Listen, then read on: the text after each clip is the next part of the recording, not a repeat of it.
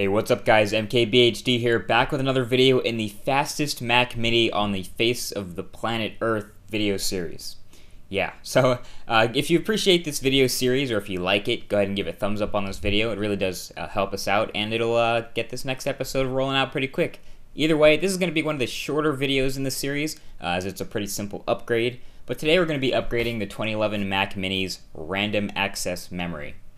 Yeah, so let's go ahead and get started with this one. So for this particular upgrade, there are no screwdrivers or any sort of tools needed, just the Mac Mini and the 16 gigabytes of DDR3 RAM, which can be found at that link in the description, and possibly a supervisor to help us out. This RAM here is 1333 megahertz RAM, the fastest that this Mac Mini's motherboard can handle, and we got it from Other World Computing as you can see here. By the way, if you're wondering about the total cost or prices of this build, We'll have that covered in a sort of conclusive video later. But on with the RAM unboxing, which was super duper easy. I actually did need a tool for this, but you just open it and bam, there's the RAM.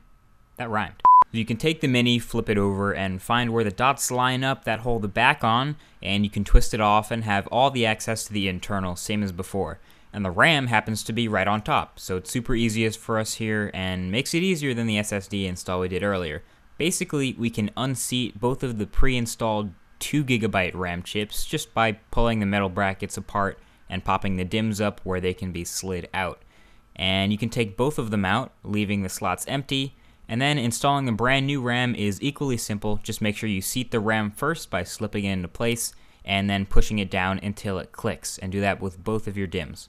And that's it. The RAM is installed, so you can put the back cover back on the Mini and boot back into Lion. Once you've booted back up, if all goes well, you should be able to go straight into OS 10 and hit that Apple logo in the menu bar and click About This Mac, where you can confirm that your memory total is now 16 gigabytes. And if you want further proof that both of your 8 gigabyte DIMMs are working, just click More Info. Under Memory, you'll have a handy dandy little diagram for you. So there you go, your 1333 megahertz random access memory is now in full operation. Boom. Thanks for watching this video, and in the next part we'll really see what this machine can do, so leave a thumbs up if you want to see it sooner. Either way, see you next time, guys. Peace.